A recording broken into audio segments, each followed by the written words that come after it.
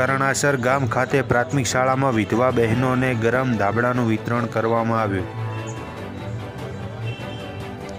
આજરોજ કરુણા ફાઉન્ડેશન દ્વારા થરાદ તાલુકાની કરણાસર ગામની પ્રાથમિક શાળામાં વિધવા બહેનોને ગરમ ધાબળા અને સ્વેટરનું વિતરણ કરવામાં આવ્યું હતું. આ પ્રસંગે મુખ્ય મહેમાન તરીકે થરાદના પ્રાંત અધિકારી વીસી બોડાણા સાહેબ, તાલુકા વિકાસ અધિકારી વી આર ચૌધરી સાહેબ, ગામના સરપંચ તેમજ શાળા પરિવાર અને આગેવાનો સહિત હાજર રહી કાર્યક્રમ યોજવામાં આવ્યો હતો.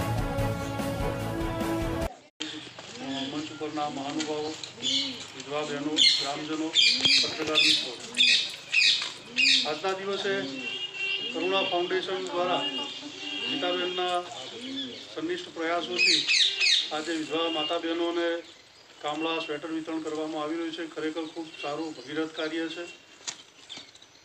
વ્યક્તિને પોતાનું જીવન ગુજરાન ચલાવવા માટે અને ઘર સંસાર ચલાવવા માટે પોતાના દીકરાઓનું પાલન પોષણ કરવા માટે આપણે મહેનત મજૂરી કરતા હોઈએ છીએ. સાથે સાથે સરકારશ્રીની કેટલીક યોજનાઓ દ્વારા પછી આવી રીતે જે ગીતાબેને કાર્ય કર્યું છે, એમના માધ્યમથી થોડો આપણને સહારો, સહાય મળે. તો આપણું જે જીવન છે એ જીવન જીવન ધોરણ આપણું ઊંચું આવી શકે. આપણે આપણું જીવન ખૂબ સારી રીતે જીવી શકીએ. આજે સરકાર દ્વારા પણ આપ જુઓ કે લગભગ વિધવા સહાય બારસો ને પચાસ રૂપિયા સીધા વિધવા બહેનોના ખાતામાં જ જમા થાય છે. કોઈ જગ્યાએ એમને ક્યાંય આમ તેમ ભટકવું પડતું નથી. એકવાર તમે ફોર્મ ભરી લ્યો અને એ સહાય મંજૂર થઈ જાય, એના પછી ક્યાંય આપણે રખડવું પડતું નથી. સીધા જ બેંકમાં દર મહિને તમારા પૈસા જમા થાય, કદાચ કોઈક કોઈક વાર સંજોગો વસાત ગ્રાન્ટમાં આગું પાછું હોય, તો એ બે ત્રણ મહિનાના કદાચ ભેગા પણ આવી શકે. લગભગ તો રેગ્યુલર આ સહાય આવે છે, એટલે બારસો પચાસની જે સહાય છે એ ખરેખર ખૂબ સારી છે.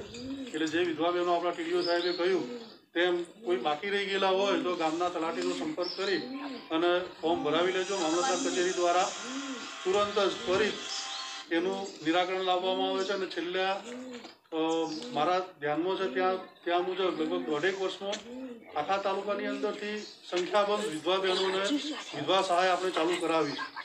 હમણાં એક પ્રોગ્રામ હતો એ, એક જ અઠવાડિયાની અંદર એક હજાર વિધવા બહેનોને આપણે વિધવા સહાય એક જ દિવસે દરેકે દરેક ગામમાં, થરા તાલુકાના ગામમાં આપણે આપી હતી. અને એ પણ ઘેર બેઠા. એટલે આવું કોઈ જગ્યાએ આવો કોઈ પ્રશ્ન હોય, પ્રસંગ હોય તો ચોક્કસથી અમારું ધ્યાન દોરજો. સરકાર દ્વારા આપના ઘરે આપના કામ કક્ષાના માધ્યમથી જ બધી કામગીરીઓ ચાલુ ચાલી રહી છે. આ તબક્કે આજે આપણે સૌ બધા ભેગા થયા છે અને ગીતાબેનનો આપણે ખૂબ ખૂબ આભાર માનીએ કે એ પણ એ પોતે ખૂબ સેવાભાવી છે અને આવી રીતે એમના જે દાતાઓના માધ્યમથી ગામે ગામ જઈ અને પોતાની સેવાકીય આ પ્રવૃત્તિ કરી રહ્યા છે. એ ખબર, એ ખરેખર ખૂબ જ પ્રશંસનીય છે. આપણે એમને, આપણે બધા એમને તાળીઓથી વધાવી લઈએ.